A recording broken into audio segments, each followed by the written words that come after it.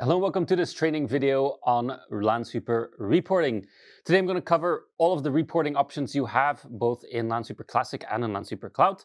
Uh, and I'm going to show you both of them so you have an idea of how you could make reports, what reporting can do for you, and more. So without any further delay, let's jump into it. Uh, reporting in Lansweeper can happen in two ways. Obviously, you can report in Lansweeper Classic or in Lansweeper Cloud, depending on which version you use. Um, and there is quite a difference because the classic version of Lansweeper uses a SQL database, which means that you'll be reporting using SQL queries. Whereas in the cloud, we use a Mongo database, which then means obviously it's a different language. So we're also reporting there is also used or uses a different language. Um, but to make it a bit easier in cloud, we have added a report builder there that lets you um, create reports without having to actually go into coding itself. Um, but it will all become clear once we actually head into the product and show you it. So that's what I'm going to do right now. So we're going to start with the reporting in cloud, where if we want to head over to reports, there's a separate section for it, where we get an overview of all of our reports um, that we have in. These are all the built-in ones, uh, basically. There are categories, so if you want to find something specific, you can always browse through the categories, or on the top right-hand corner, there's a search button to find something specifically. If you do have custom reports, we have a custom preset filter, basically, for custom reports. So any report that you've created uh, will show up here, so you can quickly find your own personally created reports. Now, as for the reports themselves, let me just throw one open. So as you can see here, report is basically just a list of devices that you've configured with predefined filters. Um, there are a couple of options that you have here that you can see in the top right. So you can either immediately just run the report again. You can schedule reports. So in cloud, you can make sure that your reports run every X amount of days. Um, let's take a look at it. So you have a couple of options here, either run it every day or on specific days where you can choose when they actually run again. So you always have an up-to-date report. You don't have to run it manually yourself every time you look at it. Um, obviously, you can edit it. Duplicate, which is a very important option. Uh, any default report, any kind of built-in report that you have in your Lansweeper installation, you can't duplicate, which means that then once you've duplicated, you can start editing it. If you go to some of the built-in reports, you'll notice that the edit button is grayed out, which means that uh, you basically have to duplicate it first before you can start editing it. But it's a great way to basically use a default report as a template to then start working on editing it, um, take things from for your own reports, etc.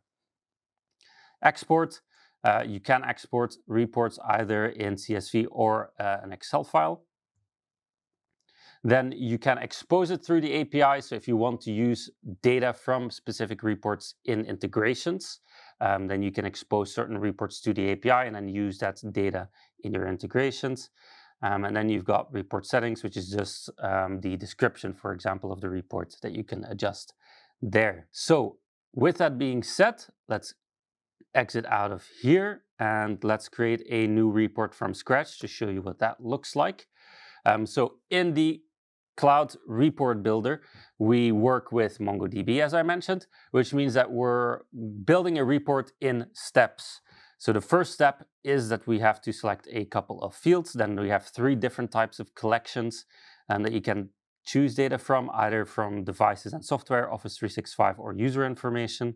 And we're just going to go with devices and software, where I'm just going to select a couple of basic fields. Um, I'm going to take them out of the asset collection here.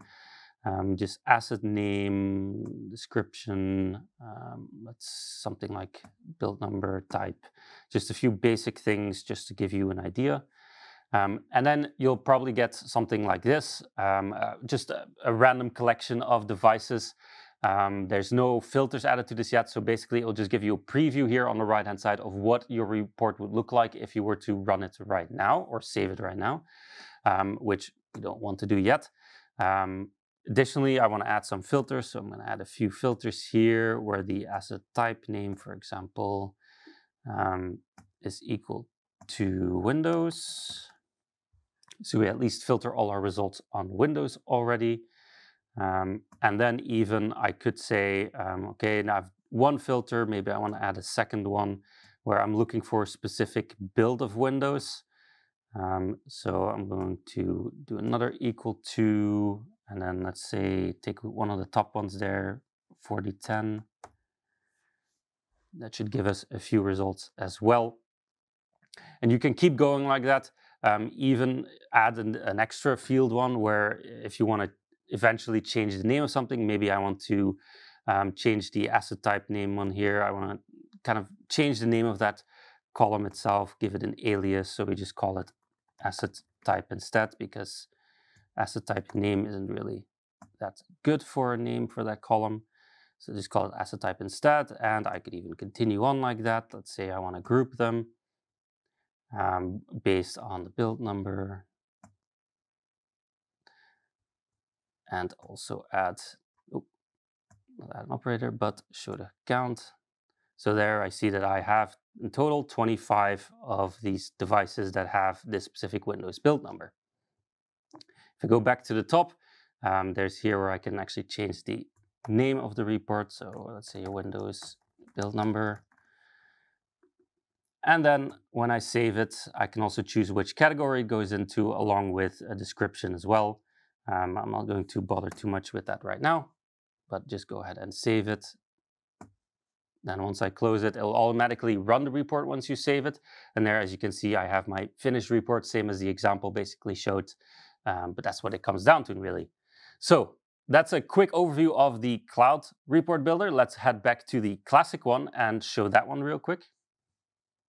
So here in the Lansweeper Classic Report Builder, uh, I'm in the overview of all of the reports where similar to the previous view that you saw, you have a list of all of your reports. But unlike the previous view, there's no categorization here. Um, so it's a bit more, it might be a bit more difficult to find something, but you do have the filters at the top to sort or filter your specific report so you can find it a bit easier. Um, however, similar to the Cloud Report Builder, all you need to do is just click on any of the reports to open them. You get a list of exactly the reports that you've opened, and you can then export it. On the left-hand side are the options. You can export all of the reports um, or all the results to um, an Excel file, CSV, even XML, um, or you can delete it and edit it as well. Um, so to show you the report builder, we're going to create a new report um, where you'll have kind of the screen will be divided in three sections. So at the top, you have your, your visual uh, visualization of the data tables.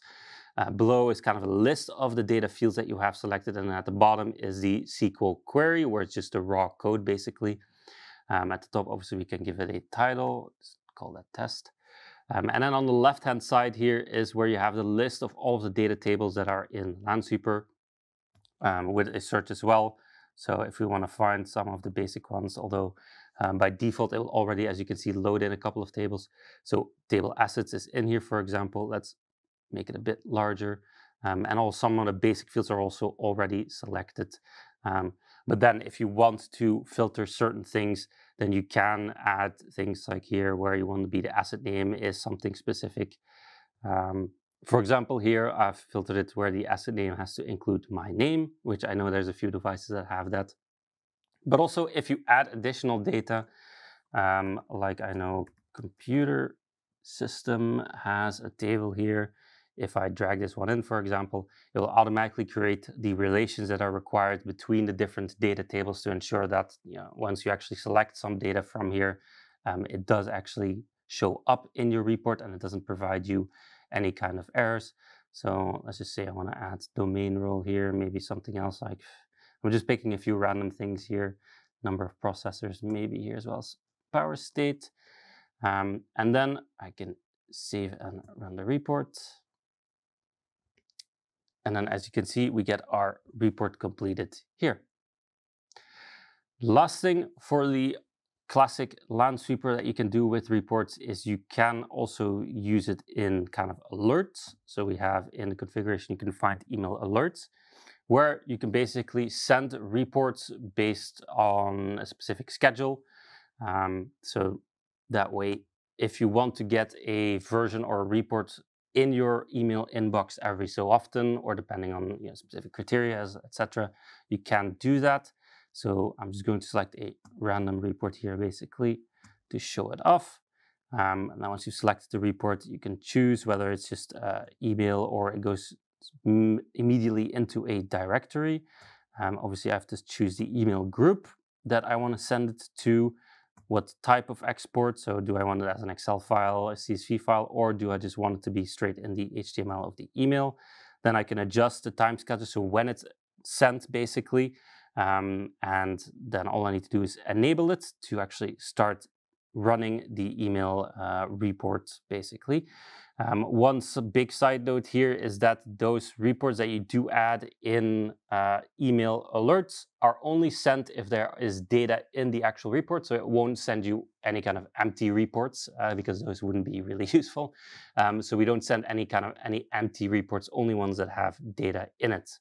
Um, so this, for example, if you do have a report that shows you, let's say an easy example is the a report of all the devices that have been scanned or new devices that have been found in the last 24 hours. If there were no new devices in the last 24 hours, you won't get an email. If there were some, then you will get an email with those new devices found in the last 24 hours. Um, so with that, I think I've covered everything here about reporting. And if you want to learn more, you can head over to the next video.